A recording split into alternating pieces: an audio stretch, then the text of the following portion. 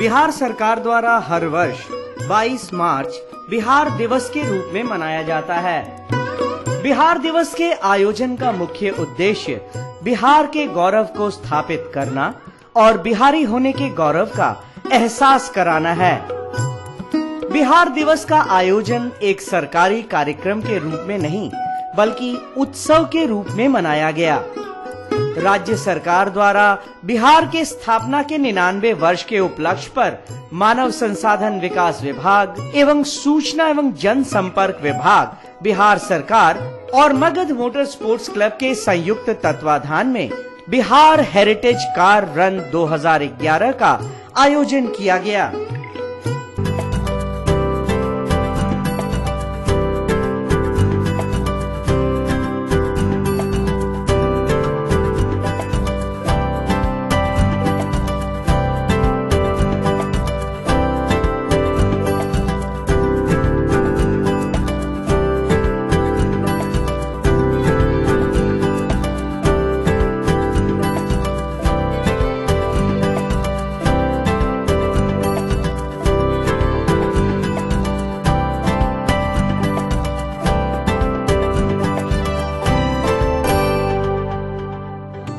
पटना से दिल्ली जाने वाली इस रन का उद्देश्य लोगों को बिहार के महत्वपूर्ण पर्यटन स्थल एवं धरोहरों से परिचित कराना था।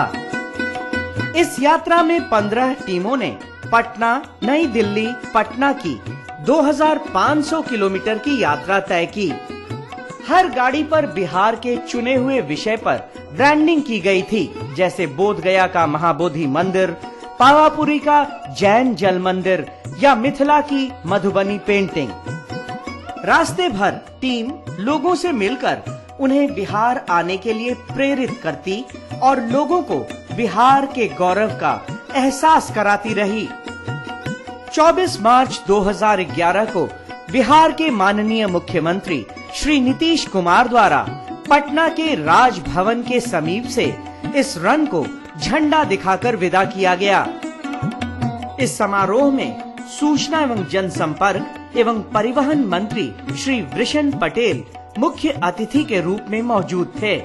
साथ ही मानव संसाधन विकास विभाग के मंत्री श्री पी के शाही और जल संसाधन विभाग के मंत्री श्री विजय चौधरी भी माननीय अतिथि के रूप में यहाँ उपस्थित थे।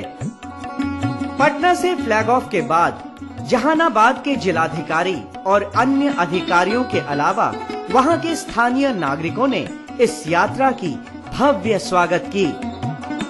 जहानाबाद से बिहार हेरिटेज कार रन 2011 की टीमें बोध गया पहुँची और वहाँ लोगों से मिलकर उन्हें बिहार दिवस के उपहार, कैलेंडर और अन्य जानकारियाँ दी।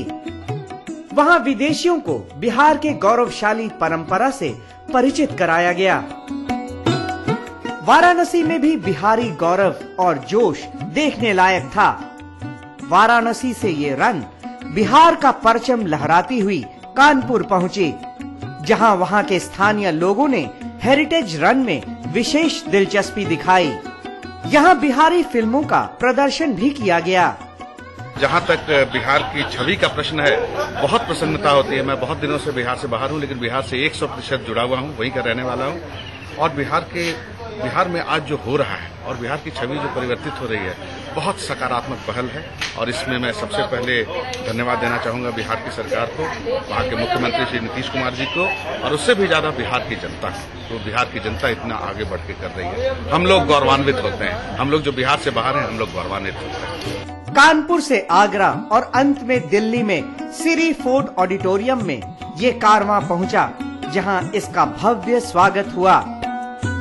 वापसी के दौरान बरेली में हेरिटेज रन देर शाम को पहुँची और दूसरे दिन वहाँ से लखनऊ के लिए रवाना हुई। यात्रा के दौरान अनेक स्थानों पर प्रतिभागी टीम आम लोगों से मिलती और बातें करती और लोगों को बिहार के गौरव का एहसास कराती रही। इस यात्रा के दौरान सैकड़ों रिपोर्ट स्थानीय और राष्ट्रीय अखबारों द्वारा छापे गए और दूरदर्शन और निजी टीवी चैनलों द्वारा इसे प्रसारित किया गया। हमें बहुत अच्छा लगा जो आप लोग ने बिहार के बारे में एक एक, ये कर रहे हैं जगराता कर रहे हैं सभी लोगों को पता चल रहा है हाँ जो हमारे बिहार में क्या हो रहा है अच्छा हो रहा है। हाँ पहले से कितना अच्छी है, क्राइम कितना कम हो गया। ये तब लोग पहले जाते थे घर तो रात को घर से निकलना मुश्किल हो गया था। आजकल बहुत बढ़िया है क्योंकि आदमी आराम से घूमता है, फिरता है रात रात कभी भी। आप लोग आए हैं, सारे हिंदुस्तान में पूरा इसमें फैलाए जो। हमारा बिहार बहुत सुरक्षित हो गया है बहुत अच्छा हो गया है। बिहार के गौरव को स्थापित करने के लिए और बिहारी पन की सही छवि लोगों तक पहुँचाने में ये यात्रा पूरी तरह सफल रही।